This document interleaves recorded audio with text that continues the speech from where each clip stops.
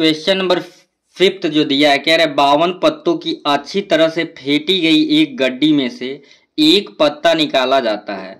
एक तस्वीर वाले पत्ते को प्राप्त करने की प्रायिकता होगी। ये प्रायिकता चैप्टर जो था, उससे रिलेटेड एक क्वेश्चन है। ऑप्शन ए एक बट्टे बावन, बी है एक बट्टे तेरह सी है तीन बट्टे तेरह डी है एक बट्टे चार।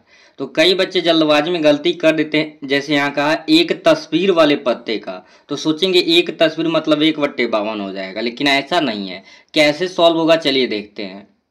तो क्वेश्चन में आपका जो था, चूँकि बात हो रही थी ताश के पत्तों की।